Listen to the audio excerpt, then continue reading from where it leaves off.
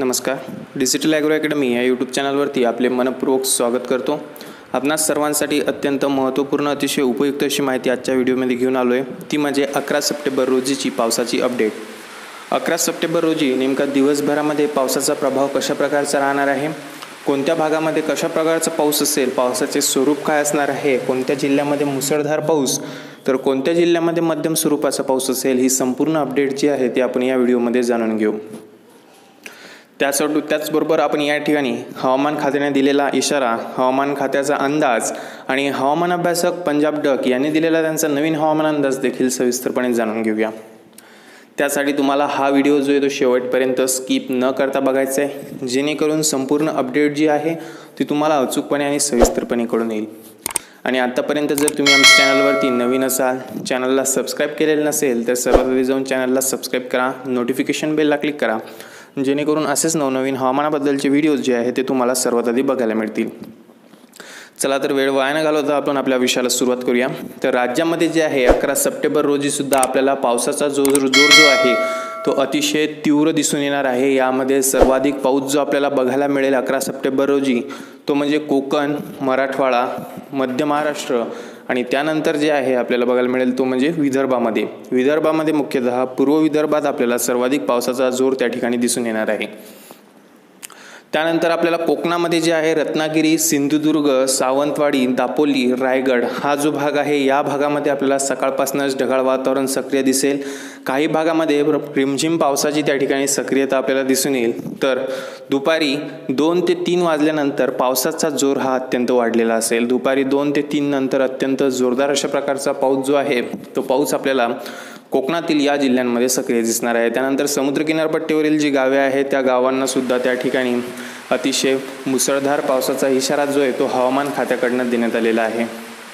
त्यानंतर मध्य महाराष्ट्राचा विचार करता मध्य महाराष्ट्रामध्ये आपल्याला सातारा सांगली जिल्ह्यामध्ये अत्यंत चांगला असा पावसाचा प्रभाव दिसून येणार आहे. साताऱ्यामध्ये आपल्याला शिरवळ सासवळ दौंड जेजुरी हा संपूर्ण भाग जो आहे या भागामध्ये आपल्याला मुसळधार पाऊस जो आहे तो सायंकाळी सहा ते सात वाजेपर्यंत सक्रिय झालेला दिसेल. त्यानंतर सांगली जिल्ह्यात सुद्धा आपल्याला अनेक ठिकाणी मुसळधार पाऊस तर काही भागांमध्ये मध्यम स्वरूपाचा पाऊस सक्रिय दिसेल. सोलापूर कोल्हापूर पंढरपूर या भागात देखील अकरा सप्टेंबर रोजी आपल्याला पावसाचे जे जोर आहे तो उल्लेखनीय दिसून येईल. त्यानंतर मराठवाड्यामध्ये आपल्याला पैठण छत्रपती संभाजीनगर जालना. हा जो भाग आहे या भागात सकाळपासूनच आपल्याला ढगाळ वातावरण सक्रिय दिसेल. दुपारी बारा ते एकच्या दरम्यान रिमझिम पावसाची सक्रियता आपल्याला त्या ठिकाणी दिसून येईल. तर पुढील येत्या चार ते पाच तासांमध्येच म्हणजेच की सायंकाळी सहा ते सात वाजल्यापासून अत्यंत मुसळधार अशा प्रकारचा पाऊस जो आहे तो आपल्याला छत्रपती संभाजीनगर त्यानंतर जालना पैठण या भागामध्ये दिसून येणार आहे. धाराशिव लातूर हा जो भाग आहे या भागामध्ये देखील आपल्याला पावसाची जी सक्रियता आहे ती दुपारी चार नंतर मध्यम स्वरूपाची बघायला मिळेल. काही भागामध्ये हलक्या स्वरूपाचा पाऊस असेल तर काही भागामध्ये मात्र मुसळधार अशा प्रकारचा पाऊस जो आहे तो लातूर धाराशिव या भागामध्ये सक्रिय दिसणार आहे. त्यानंतर परभणी नांदेड हिंगोली हा जो भाग आहे या भागामध्ये मात्र आपल्याला पावसाची जी सक्रियता आहे ती मध्यम स्वरूपाची दिसून येणार आहे. या भागात आपल्याला दुपारी तीन ते चार वाजल्यापासून जोरदार अशा प्रकारचा पाऊस अनेक भागांमध्ये सक्रिय झालेला आपल्याला दिसून येईल. तर ज्या भागामध्ये पाऊस सक्रिय नाही त्या भागामध्ये मात्र आपल्याला सायंकाळी सात ते आठ वाजल्यापासून पावसाच्या सक्रियतेस सुरुवात झालेली दिसेल. त्यानंतर विदर्भाचा विचार करता पश्चिम विदर्भात अकोला बुलढाणा वाशिम यवतमाळ अमरावती अचलपूर पांढरकवडा जळगाव जामोद खामगाव शेगाव हा जो संपूर्ण भाग आहे या भागात आपल्याला सकाळपासूनच उन्हाचा प्रभाव अनेक भागांमध्ये दिसून येईल तर काही भागांमध्ये ढगाळ वातावरण देखील सक्रिय असेल. मात्र दुपारी एक ते दोन वाजल्यानंतर आपल्याला वातावरणामध्ये बदल झालेला त्या ठिकाणी दिसून येईल. अनेक भागात ढगाळ वातावरण सक्रिय असेल तर पुढील येत्या तीन ते चार तासांमध्ये म्हणजेच की सायंकाळी पाच ते सहा वाजल्यापासून अनेक भागांमध्ये जोरदार पावसाची सक्रियता त्या ठिकाणी आपल्याला बघायला मिळेल. काही भागामध्ये मध्यम स्वरूपाचा पाऊस हा सक्रिय असेल. त्यानंतर पूर्व विदर्भात मात्र पावसाचा जो जोर आहे तो अत्यंत चांगला असणार आहे. त्यामध्ये नागपूर भंडारा गोंदिया गडचिरोली चंद्रपूर हा भाग समाविष्ट असेल. पावसाची जी सक्रियता आहे ती मुसळधार राहून त्याचे स्वरूप जे आहे ते मेघगर्जनेसह व वादळी वाऱ्यासह असणार आहे.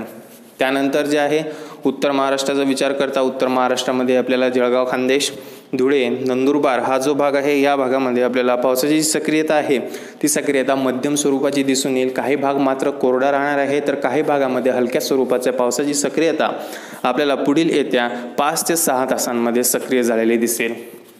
त्यानंतर नाशिक इगतपुरी त्र्यंबकेश्वर या भागात मात्र आपल्याला पावसाचा मध्यम स्वरूपाचा जोर अनेक भागात बघायला मिळेल तर त्र्यंबकेश्वर भागामध्ये आपल्याला जोरदार अशा प्रकारच्या पावसाची सक्रियता ही पुढील येत्या पाच ते सहा तासांमध्ये सक्रिय झालेली दिसेल.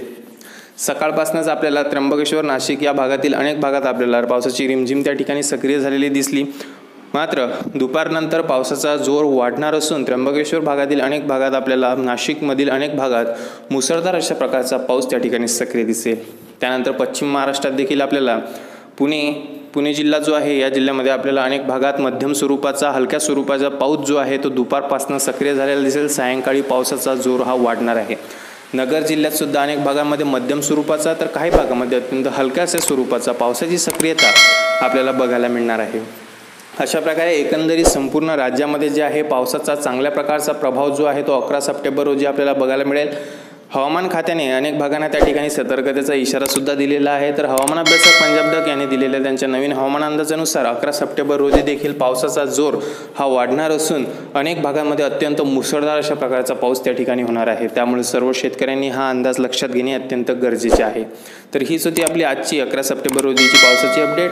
तर अपडेट कशी वाटली? कमेंट बॉक्समध्ये कमेंट करून नक्की कळवा. चॅनलला सबस्क्राईब करा नोटिफिकेशन बेलला क्लिक करा. व्हिडिओ आवडल्यास व्हिडिओला लाईक शेअर कमेंट्स नक्की करा. तर आता आपण भेटूया पुढील व्हिडिओमध्ये. व्हिडिओमध्ये एका नवीन अपडेटसोबत तोपर्यंत मी इथंच थांबतोय. धन्यवाद.